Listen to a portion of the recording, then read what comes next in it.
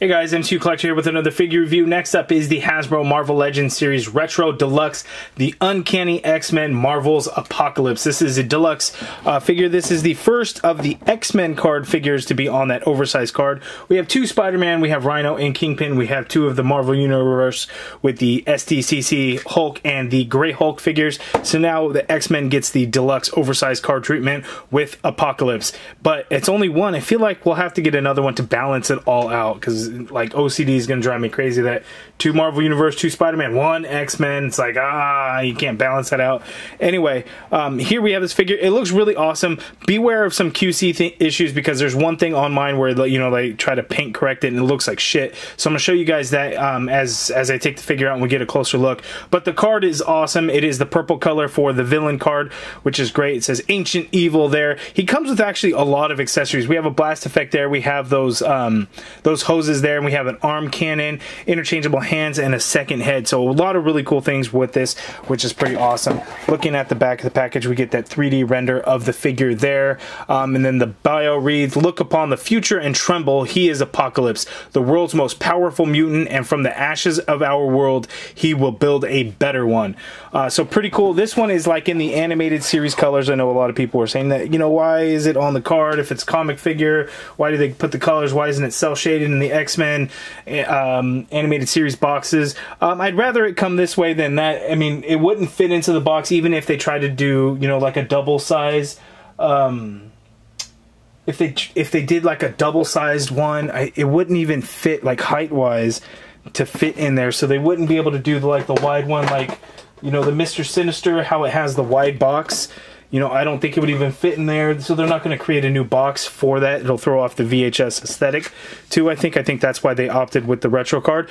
But I love it. So let's go ahead and rip this thing out of the card and let's take a look. Okay, and here is the Apocalypse figure out of the package. And yeah, he is stacked with accessories, which is really, really cool. Um, so I love the way it looks. I love the little blast effects. And I didn't realize this. It has the two small blast effects for these two smaller barrels here on this arm cannon, um, which is actually really cool. Um, there is a lot more new to this figure than I in had initially thought, which is um, kind of crazy. Like I thought it was going to be almost all reuse and everything, very little new stuff. You know, I knew we had the new head sculpt um, and the arm cannon, but the forearm guards, the gauntlet pieces are new. His torso, I believe, is new, and then this collar piece is new. And then these shoulder pads are new like it's a lot more new than i thought. It's not just a, a straight repaint. I mean it kind of is but kind of not. I mean there's a lot more new to it. So um, i was actually really really shocked by it. So let's get in for a closer look before we get a chance to look at the articulation and those comparisons with the two previous released apocalypse figures Okay, so in for the close look at Apocalypse, and look at that head sculpt. This is the new one. This one's just kind of the straight face, and it's crazy looking. Look at the face print on there. I like that they added shading kind of in his facial features to bring out um, kind of that menacing look and those wrinkles in his forehead and stuff. He's got red eyes with like a little bit of green pupils um, in there, and that just looks really good. The light kind of shines off of it a little bit but I really like the way that looks there. But again, we get two heads, so we're going to pop this one off. We've seen this one before. This one is actually just a repaint of the one from the Build-A-Figure. As we take a look here, it is the same head sculpt, but painted differently, but they are... Wait, are they the same head sculpt? Ooh. Now I'm questioning whether they are the same head sculpt. But he, anyway, here it is. Well, and then I'm going to take a closer look at it. But yeah, this one, the menacing with the gritty teeth, um, looks pretty good. But man, I'm going to have to take a closer look at these two head sculpts and double check to make sure they are the same or if they are in fact different. It's kind of crazy the difference in color and paint a head looks. This one definitely looks a lot more wider to me, but I think at the end of the day they are the same head sculpt, but it's just so hard to tell. The way this face part, it's like a couple of separate pieces. Like this face part is a separate piece that's glued on, and it wasn't glued on real well. Whereas this new one, it looks to be on there a lot better. See, it looks like it's hard to tell with the paint. This portion looks a little bit wider or longer than this one, but I think that's in the paint variation. Looking at the bottom, they have different numbers inscribed in there, and that could be a sign that they're different.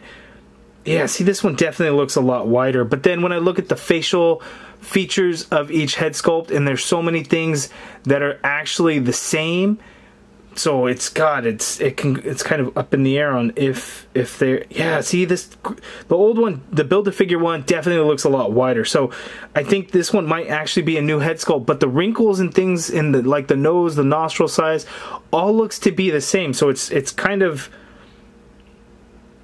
it's kind of crazy. I mean, I guess these look a little bit more pointed. The blue there versus here, but again, that could be just in how these two parts were kind of glued on it's just kind of it's it's wild. But I'm gonna go with newer-ish.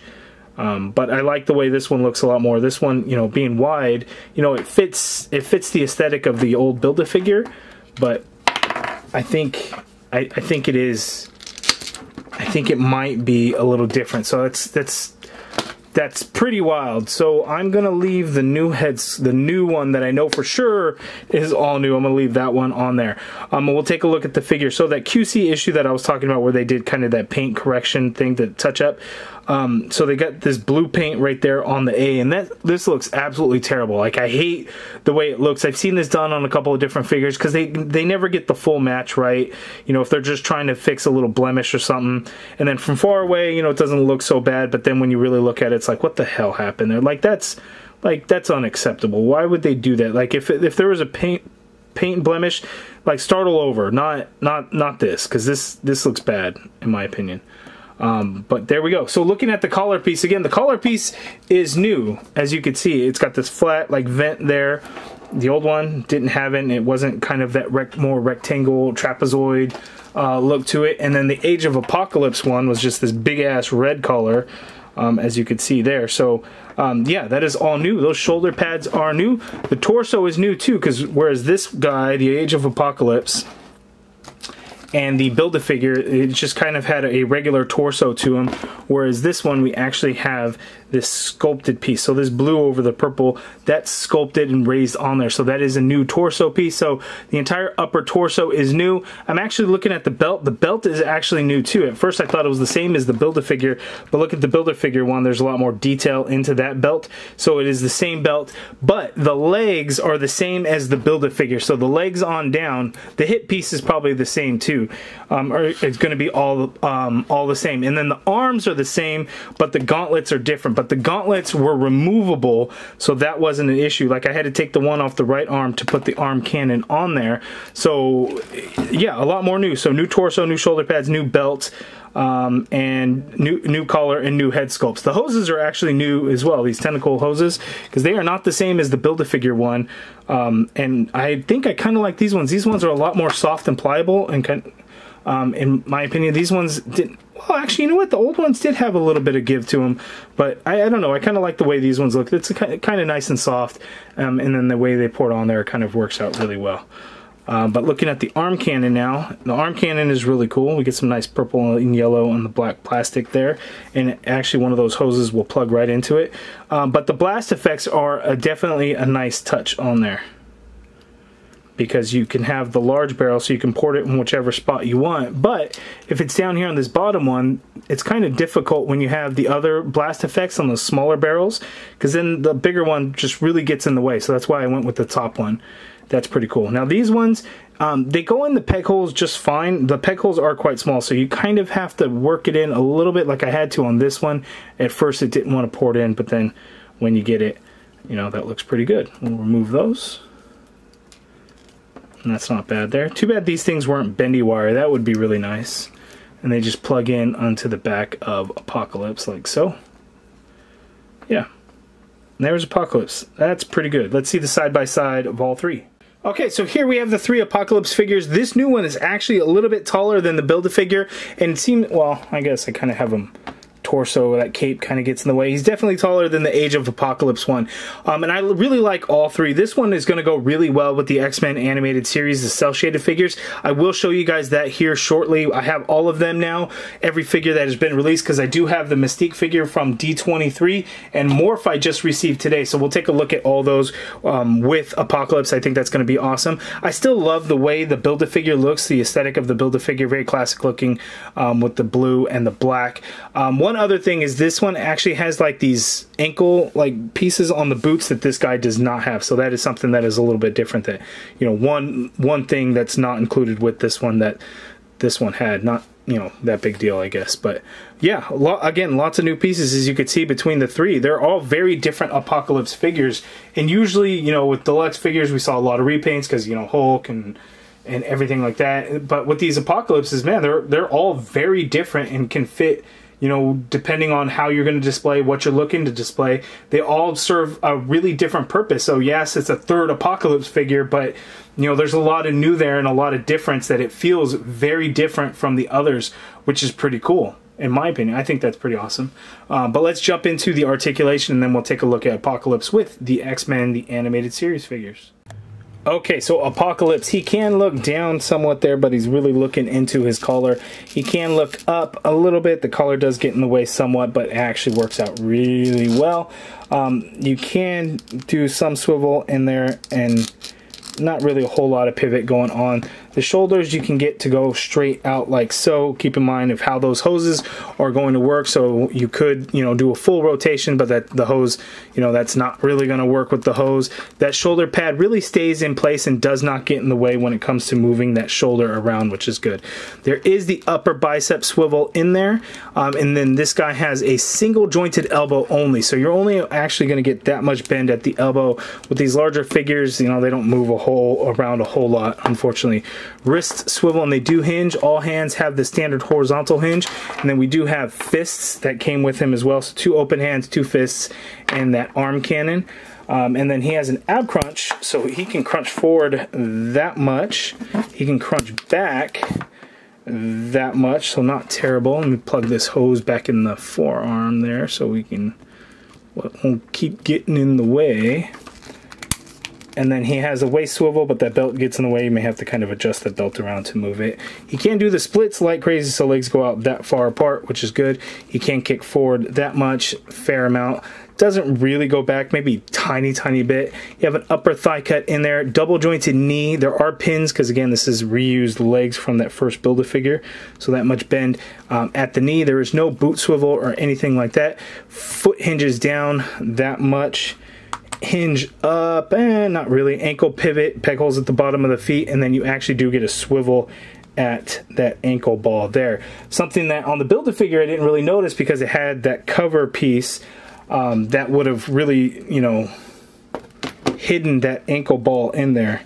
As you can see that piece was just a floating piece on the build a figure. So we do not have that on this guy but I don't think it was really necessary um, or anything there. But I think he moves around a fair bit for a big uh, for a big figure. The big figures tend to not move around nearly as much. Okay, and here we have all the X-Men, the animated series figures. I will include Apocalypse in there, even if he's not cel-shaded, even if he's not in the VHS style packaging. The color scheme just screams animated series, doesn't it? Uh, but here we have all of the ones that have been announced and officially released. What are the plans for Hasbro? We do not know. They seem to kind of hint towards a bunch of figures um, getting released and being planned. Who knows how deep it'll go? But there's certain characters that I think we absolutely need, right? We need a Cyclops. Number one, we have to get a Cyclops. And because we have these nifty new legs with Morph, and they're not all that new, they're basically the Vulcan legs with these straps that are actually sculpted um, I don't know if they're sculpted. They feel like a separate piece that's like onto the leg. So I compared to some of the muscle definition to the Vulcan legs. They are the same, and I'll talk about that more when I when I review Morph um, which will probably be going up the day after this video will be going up. But I think these figures all look really awesome together, and I am excited to have them. I think Apocalypse is nice that we get additional villain because we have a lot of heroes in this line, so it kind of helps balance it out a little bit. But I think he just looks really, really nice. But you guys let me know down in the comments below what do you think of this Apocalypse figure? Is it one that you're going to be picking up, or are you passing on him? Let me know in the comments below. I think he looks fantastic. The color scheme looks nice to me. It again screams animated series. The hand cannon with the blast effects are pretty awesome. The new head sculpt is really good. Everything about it I really like. The retro card is the big seller there. You know, hang it up on the wall or open it. I will be getting a second one eventually so I can hang on the wall. But this one that I got from Amazon, I'm excited to open it up and show you guys. But again, let me know in the comments below your guys' thoughts on it. If you guys are interested in becoming a channel member, hit the join button and come be a part of the MCU collective. If you guys like this video, please do me a favor and hit that thumbs up button. Subscribe if you haven't already done so. And as always, thank you for watching.